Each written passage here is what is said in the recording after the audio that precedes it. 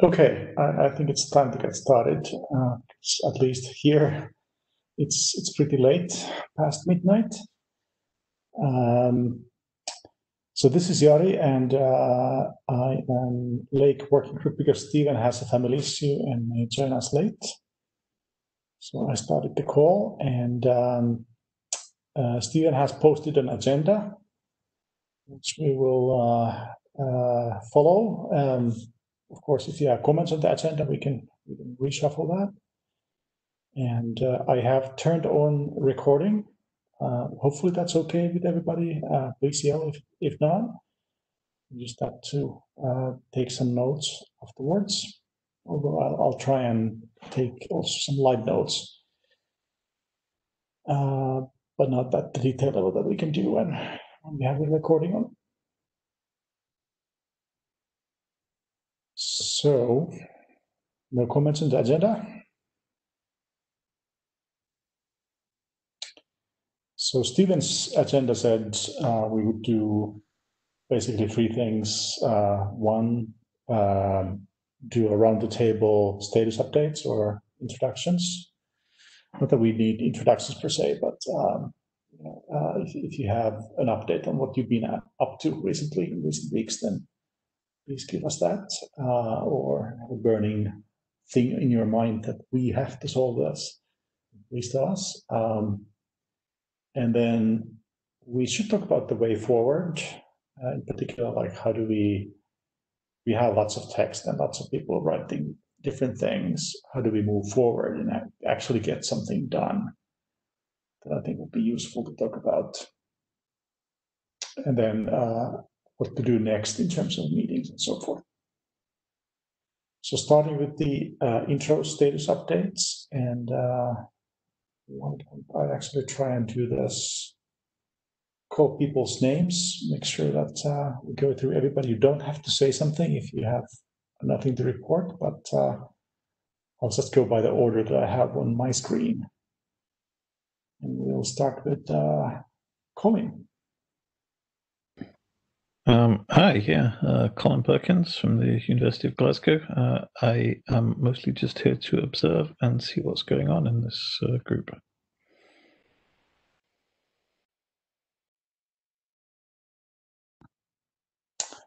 Thank you. And uh, Dominique, you're next. Hi, uh, Dominique. Uh, it's August in the UK, so most of us are on holiday. so not a lot has been done um, yet. But I just wanted to thank you, Jari, for um, the comments that I just received on the on the email list. I noticed you sent out a number of comments, including on your own document. So that was good, and um, it was it was really good, actually, really really helpful for me. And uh, just want to make sure that we you know, kind of figure out how those documents fit into moving forward, what we're going to do next. Thanks. All right. Thank you, Dominique. Uh, and then Ira.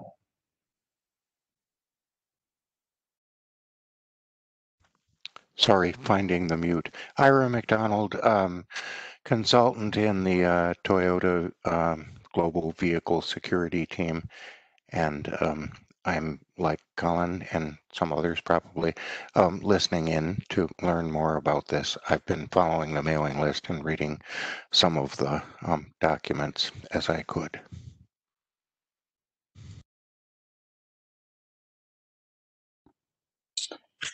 Thanks. And uh, and then uh, Jeffrey. Hi, this is Jeffrey Yasskin. Um, I'm working on the privacy threat model that uh, Sam Weiler mentioned in your last meeting, and he he suggested that I that I pay attention to this. So I'm uh, mostly listening and and trying to read your documents. Uh, great, uh, welcome, and I'll uh, I'll jump back to Christian. Oh wait. Uh, you may not be. Yes, so we able to speak it. Yes, you are sorry, I was uh, almost ready to get uh, lunch, and then I realized that I had to join you. So I'm here. Yeah, sorry, sorry about your lunch. Um, yeah, so we're in sort of status report round. So if you have any particular things you want to mention, um, that would be a good time.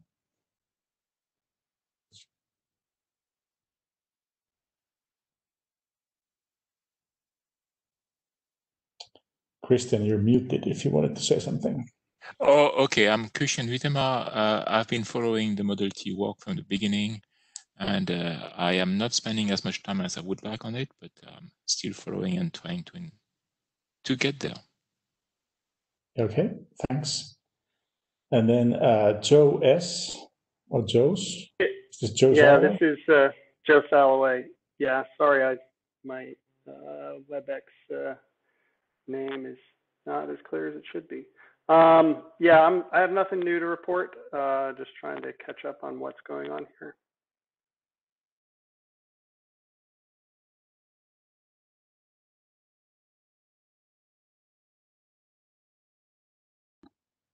All right, and then Mark. Hi, um, it's Mark McFadden. Uh, I have a couple updated drafts, one on uh, changes to the threat model and uh, another one that I sent to uh, the MAP uh, research group.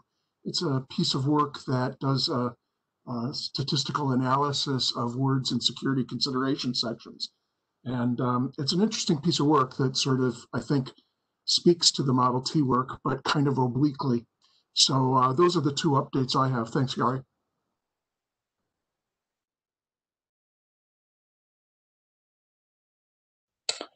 Thank you. Uh, We, uh, the, the other draft, um, you had a changes on, on uh, threat model, um, but the other one, uh, this wasn't, uh, this was something else than the, uh, the terminology draft.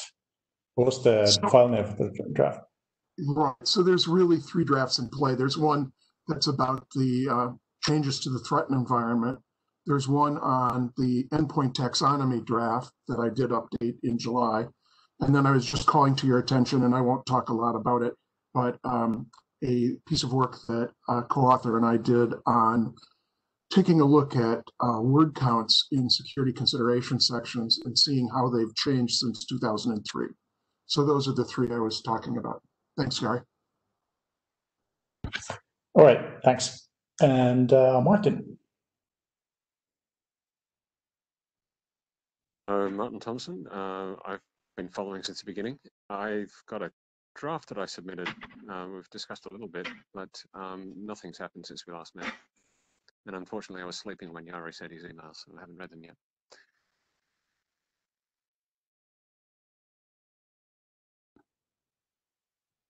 All right, uh, and Russ. So I've also been uh, following this group since the beginning. Um, I have not yet read Yar- Jari's emails from not that long ago. um, but uh, otherwise, I think I'm up to date on the list. But nothing new to report. All right, and uh, Tommy.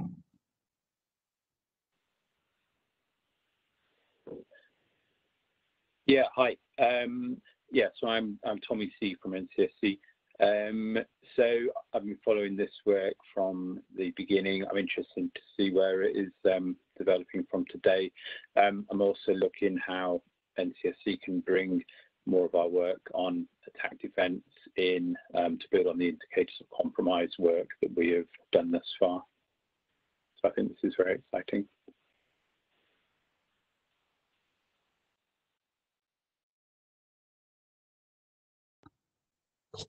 Thanks. And uh, Wendy.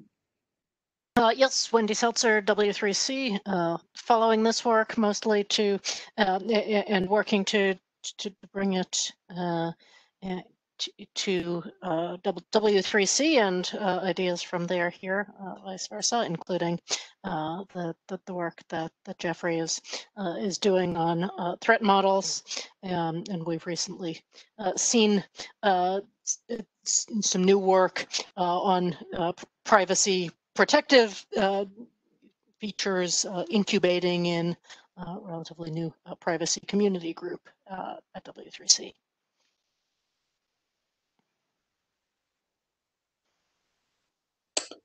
Yeah, and I can go last, but before that, I miss anybody?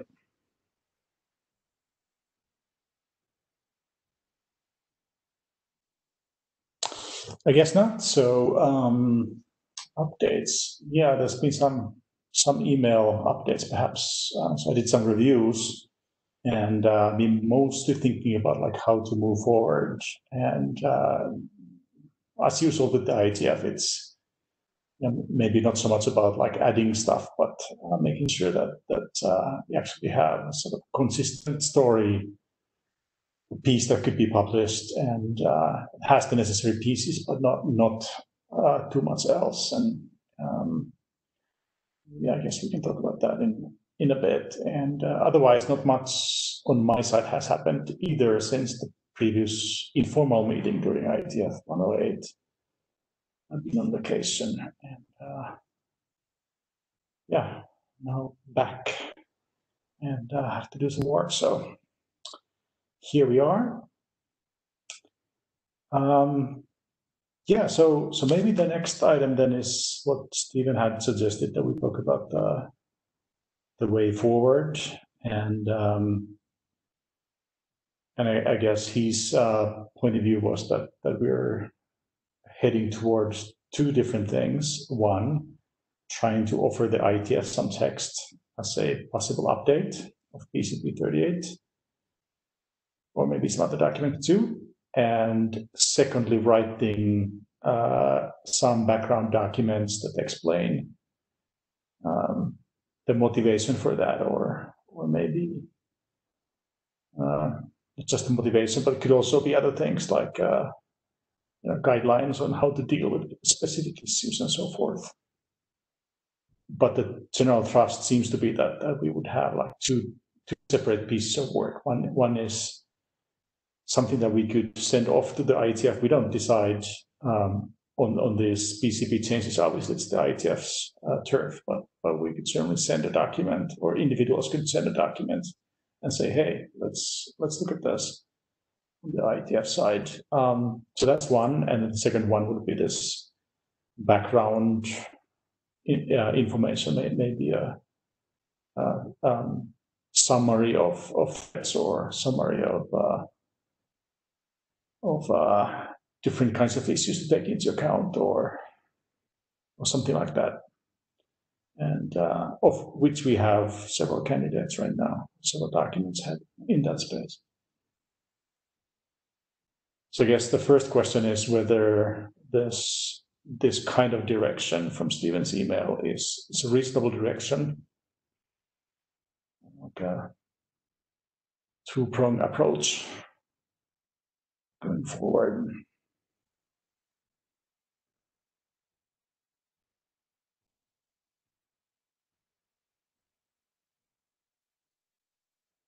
Well, if you have thoughts, please speak up. We, we are a small group today, so, so just speak up.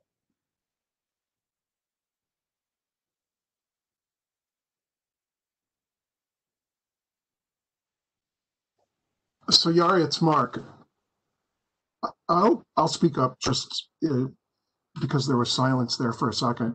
As far as the two pronged approach goes, I, I actually think that's a good idea because I think the authors of some of the drafts that talk about the threat models um, can sort of meet one of the goals that was in the charter, right?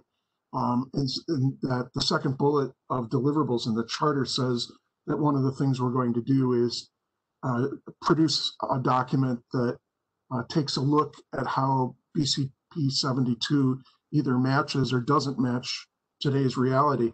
I think we have a lot of input on that. And I think that, you know, bringing the authors together to try to come up with a, a common a common statement that then can get transmitted to the IETF is a good result, not only for Model T, but that's a good result for the IAB.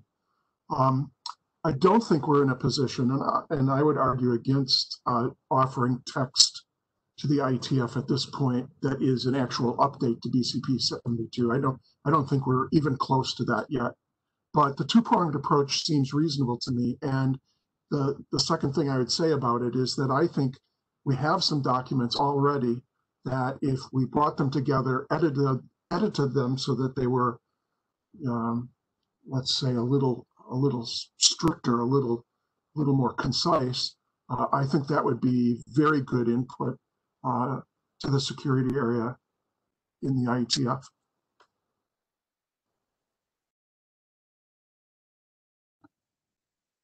Okay. Other people? Yeah, yeah, Jari, this is Dominique. I was gonna, I was unmuting as Mark was unmuting. Um, I, yeah, I do, I do support the two prong approach, and similarly, just I only briefly looked at your comments because you sent them about 20 minutes before. Um, and I too was uh, resting before the call. But basically, I think the the the content we have quite a lot of content, and and I think one of the comments that you had was was on focusing, and I think along the same lines as Mark's comment, if we take all of that together and focus a lot of the the research and the input and the information and the editing that needs to be done that can inform the second part of it but i think um you know we're we're not quite yet at that point where we can do an update um to bcp 72 uh, but i do think we have a lot of we have a lot of information and we have a lot of you know sort of people thinking about it. We have seven drafts, obviously, as well, and now also the um, uh, W3C is participating. Thank you, and I'm looking forward to to hearing more from them. But uh, I think we're at a point where we're gathering and and consolidating information in a way that reflects the current um, security information that can then inform the next step after that. Thanks. Thank you. Christian here, please. Uh, yeah, I mean, I think uh, having a, taxonomy of uh, the the threads uh, is a really good idea, and I, I like uh, Dominique's uh, draft on that because I mean things like botnet phishing, network penetrations is something that we have to be concerned and that have to be out there. Too much of the threat model that we have now is focused on just uh, uh, addressing the direct communication between two points and not looking at the network effects is, is a bad idea. So first having the threat out there and say, hey, yes, this thing is happening. I mean, you, we, we have to be concerned about it. What seems to be, I mean, the, there are little details in Dominique's draft that I, uh, I would like to to see, I mean, a bit, uh, uh, I would say, expanded on. Uh, one is our use of network attack, which is very ambiguous in an IETF context because network attack in, in an IETF context means attack on the routers typically, and that's not what we're speaking about. We are speaking about uh, typically an attack that uh, culminates in something like breaching uh, the Active Directory for the site or something like that. So it's basically attacking a community rather than attacking a piece of hardware. And, and so that, that should probably be uh, expanded a little bit on. Uh, the other thing that uh, I, I, I like is uh, about the phishing part, but uh, we should probably have uh, a description of the relation between all that. Typically, the, the fact that an attack starts with a bridgehead, which is typically obtained by phishing, but can be obtained by something else, and then uh, goes into expansion to uh, eventually try to control the network. And that is something that is important for me, and uh, I'm guilty uh, there of not giving feedback early and providing text to Dominique. But we, we should develop that and, and it goes to my second point. The reason we want to have this taxonomy of, uh, of attacks is also because we want to have a taxonomy of defenses. For example, if we follow the attack model in which phishing leads to a beachhead, leads to lateral propagation, uh, then leads to a network compromise, and then leads to all kinds of exploitation, uh, there are different defenses that apply at different points. And so it'd be very interesting to uh, get from the first uh, taxonomy of attacks a second one, which is a taxonomy of defense. But for me, that should be a second step. And I've already spoken too long, so I'll give the floor to whoever wants to speak next. Thanks, Christian. That was really useful.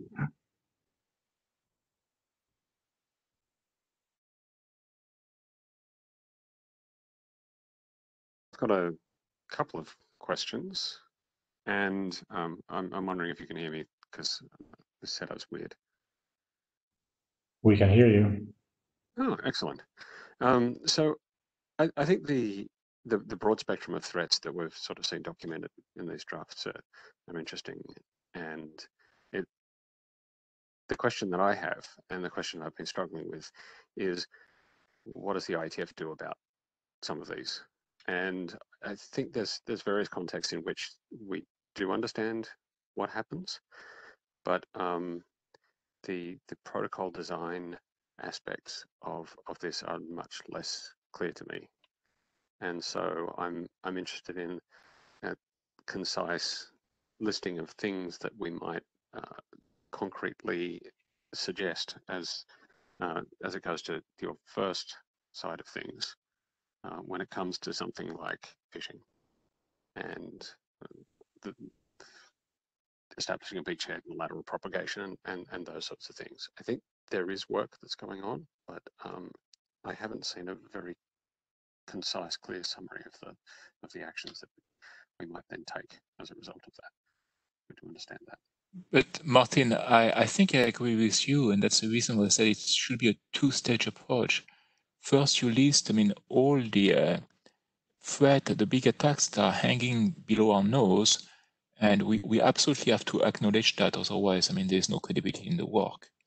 And then there will be defense against those attacks, and only a fraction of the defense is something that is in the IETF purview. But we, we have to do that in the two-step approach first. I, I think that's reasonable. The the um, I guess the question is how far you get down the the path of of carefully documenting all of these uh, various threats before you you have to you start to try to work out uh, where it is that that we have some purchase on them and where it is that we've deci- decided that simply these are out of scope and will not, will not deal with them. That that bit is what what bothers me most, I think. So I W3C is doing, and that, and that's sorry, Ari, uh, the W3C is doing the work on the privacy side of things, and that's a very different thing to what we're we're talking about here.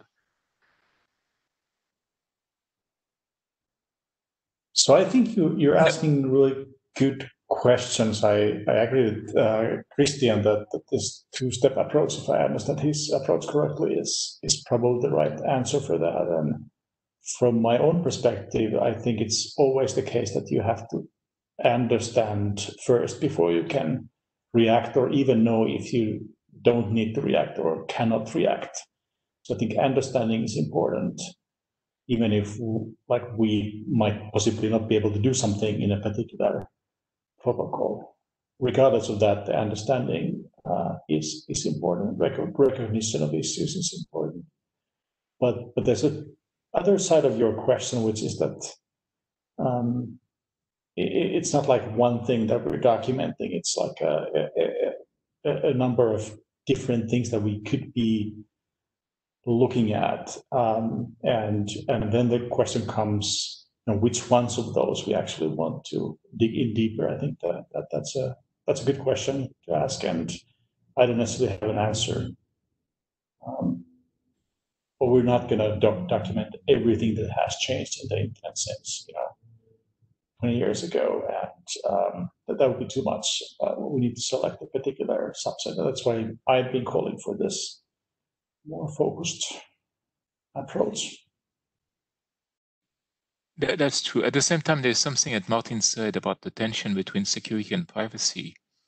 But uh, what we see in a number of those big attacks, like uh, the attack uh, against the Office of Budget Management in the US is uh, the, the fact that the attacks, the goal of the attack is to acquire personal identification data and database on people that you can then use to uh, break those people's privacy and also to mount further phishing attacks and things like that. So there, there is, I mean, the, the, the relation between security and privacy is not, uh, oh, I mean, in the name of security, you're going to destroy privacy. It's like also the absence of security destroys privacy.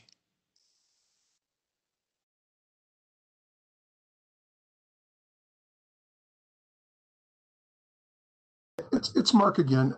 Can I sort of follow up on something else that Martin said, and that that there there would be sort of like a uh, if if we think about Christian's two step approach, and that the first step is this sort of taxonomy, and I think Martin, and not putting words in his mouth, but I think one of the things Martin was saying is how far do you go, right?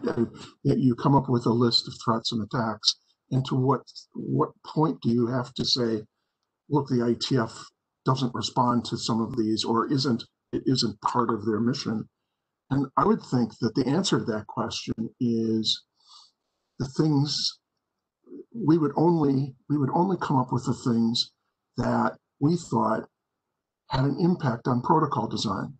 So the, the threats and attacks that we we want to highlight that give guidance to protocol designers to ensure that those protocol designers are taking those threats and risks and potentially mitigations into consideration. And that's kind of how, in answer to Martin's question, that's kind of how I draw the line. Now I'm hand waving a bit, right? Because I'm not telling you how to do that. But in my mind, the qualitative answer is what we want to do is guide better protocol design from the point of view of security. And, and so anything that falls out of that criteria are things that the IETF wouldn't concern itself with. Yeah, I think Mark, I think you've you've you've basically hit it there. Um, so I was thinking originally that this would be um, exactly that sort of um, that sort of advice to protocol designers. So how to design your your protocol for better security? But when you when you look at the the text that's in BCP 38 and 3552, whatever that one is, um, that there's a lot there that already already sort of covers that aspect of it. But the the thing that most sort of interests me in terms of a, a, my own blind spot, I, I guess, is the the idea that we potentially design new protocols in response to particular privacy threats or security threats that uh, are a result of the changing landscape. And so the um, the work that's that's going on to deal with incident response, for instance, is a, is an example of that. And and so I think there's there's different reactions that we might have, and some of those are this is the way that you change the way in which you design protocols to achieve other purposes, and then there's these are opportunities to do new work in the area that requires cooperation between different different nodes.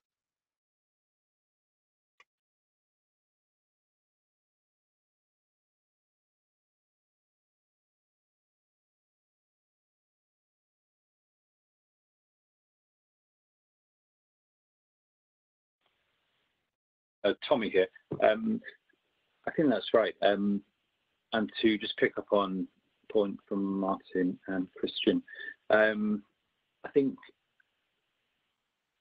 listing and categorizing the threats is important, and I do accept that we don't really know as protocol designers what impact that should have on the protocol design.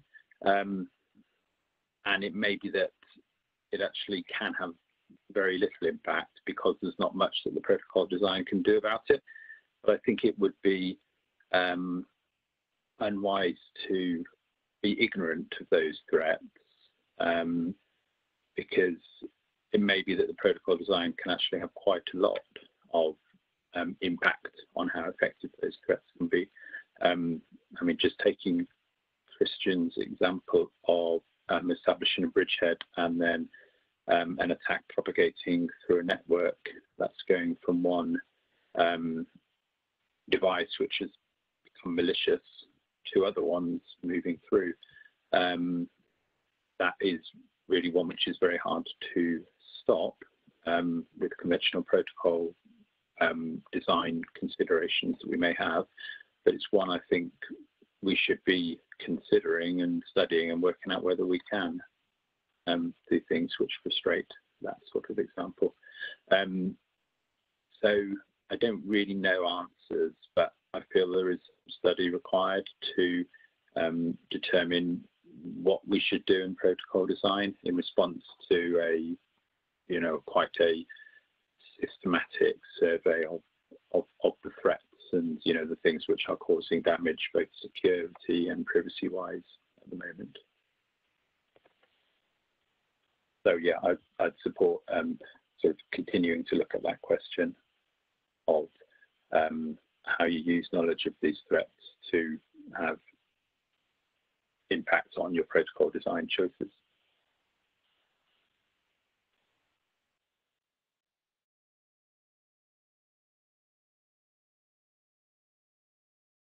So I have one more question, um, and that is, is it possible to take Christian's two-step design and, and do a dry run or a trial run of it on on something that's that's relatively well understood?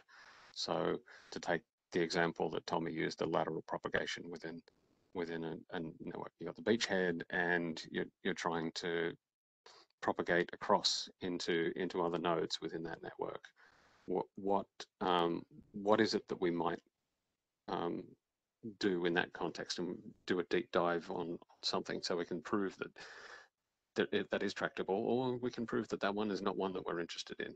I suspect that we are interested in it but um, I, that's my suggestion is maybe someone can do a little bit, bit more of a deep analysis of one of those and maybe we can have a discussion about that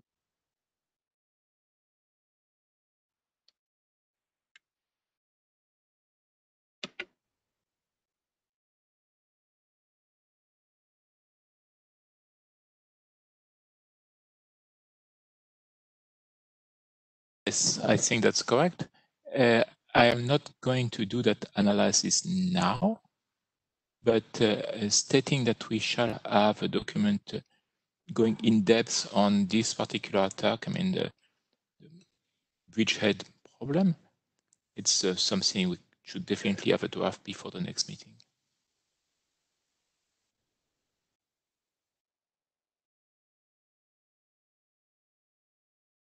I just wanted to to say, yeah, I'd I'd be happy to help work on that draft. Um, my uh, my draft on security protocol design. Um, it, what I wanted to do in the next sort of iteration of it is to actually do exactly what you mentioned um, and what you were talking about, Martin, and and that is to really look in more detail at the the issues and that what is um, impacted, right? What how the protocol design uh, would be impacted by certain security and privacy threats as well. So it's something that I've had on my mind that I haven't um, done in the current iteration, but it but it's definitely something that I, I want to do. So um, yeah, happy to work on that.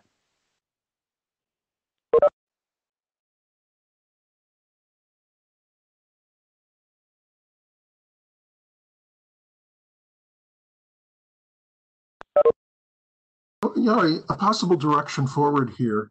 And when we get in this position, sometimes with uh, traditional working groups, one of the things we do is we go off and form an editing team to go away and and try to meet the needs of multiple authors, right?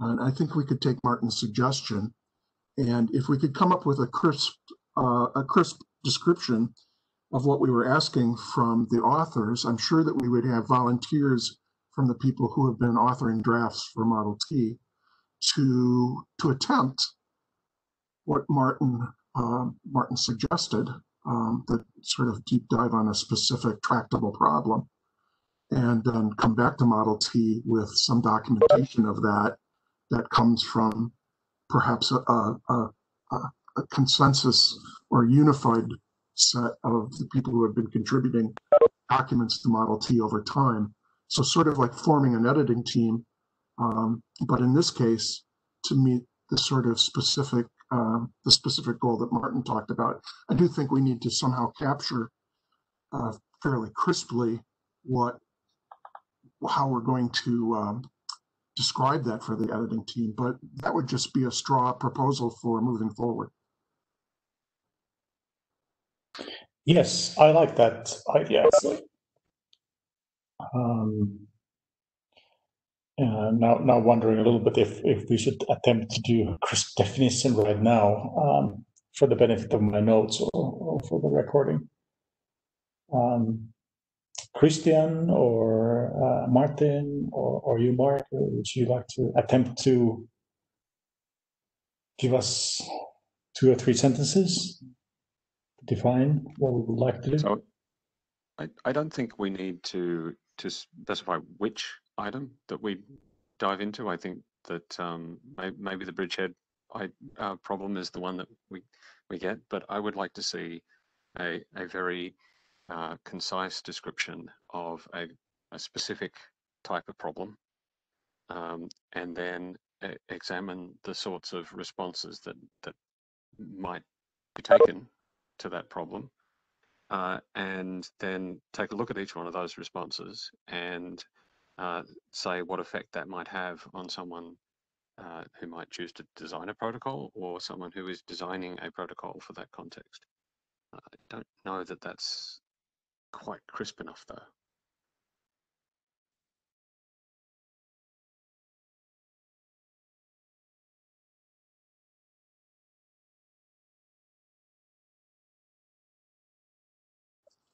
I think I would say plus one to Martin's suggestion there. I, I, think we could leave it to the editing team to pick what what it was, the particular threat or the particular risk that uh, uh, they were going to do the deep dive on. I think what's more important for Model T is being clear about sort of the the, the, the general outline of what we expect um, as as output. And I, I, agree with Jari that it could just be two or three sentences. It doesn't have to be more than that. Um, but it needs to be crisp enough so that if we have three or four or five people volunteering to try to produce some work in that space, that they have a common view of what it is they're going to end up producing.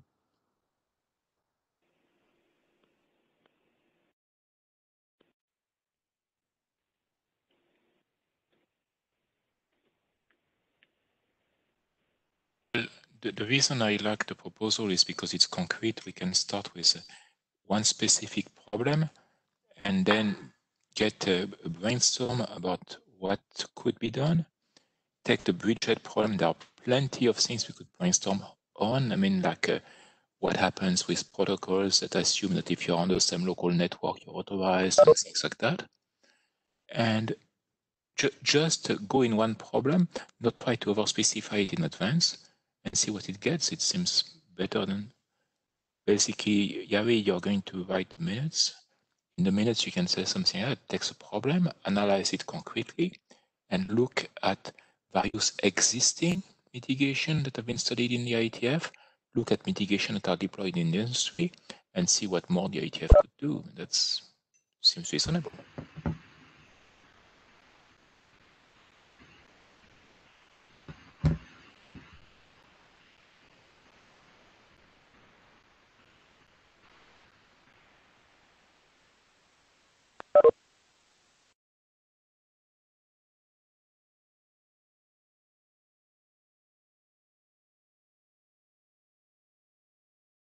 Thanks. That that does sound good.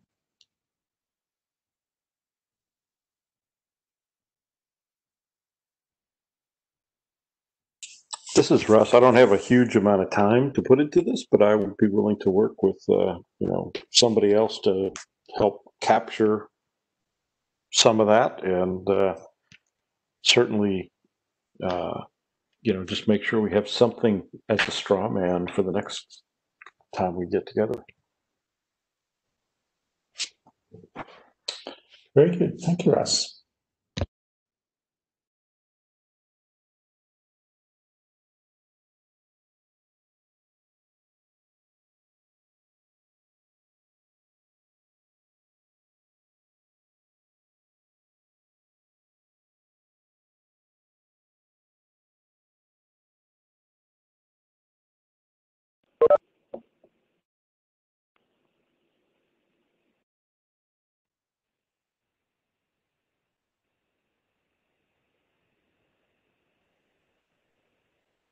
Okay, so any other things that we should be doing, uh, or any other um, points that people want to take up at this stage?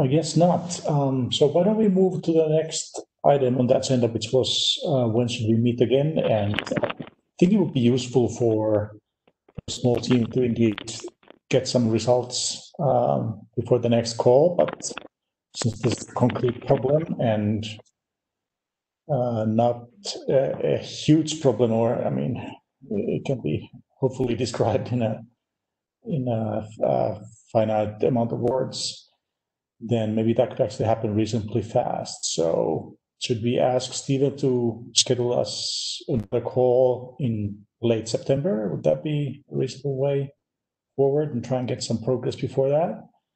And then that would leave us uh, time for the next IETF to do another round uh, before that happens and before the deadlines are.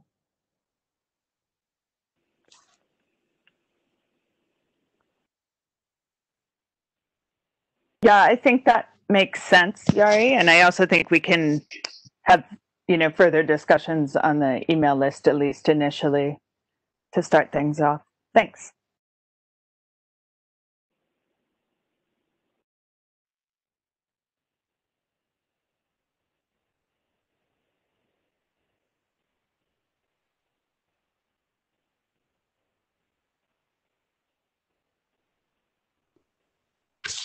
Okay, any other thoughts? And I, I do want to remind people that we do need to, uh, I mean, not just have some set of people do stuff, but also the rest of us have to review their their results and also review the other other documentation that we have and uh, in in IETF and outside IETF. We've had some some discussion of those points. Um, so there's work that remains for trying to understand where we are and comment on uh, documents today. So it's not just sitting around and waiting for the small team to do stuff. But um, yeah, so team will do things. The rest of us will do things, uh, review and comment, participate in the mailing list. And we will have a call in late September uh, with, uh, based on doodle poll results that Stephen will initiate.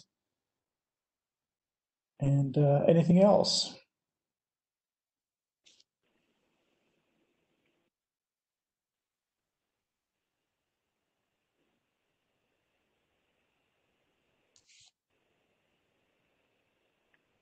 Just Okay, staying up I with will Larry. guess- Jari. Go ahead.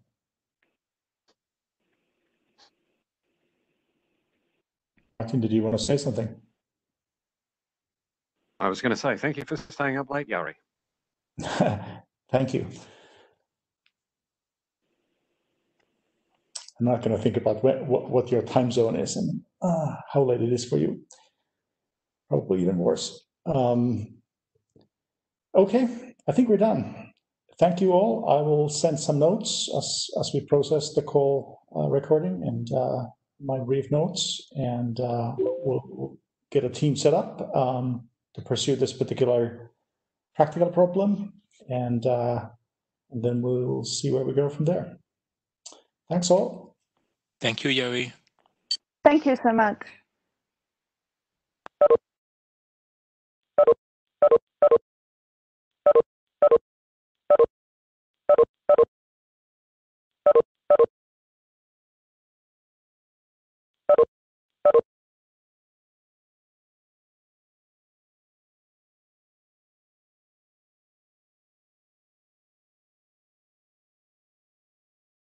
So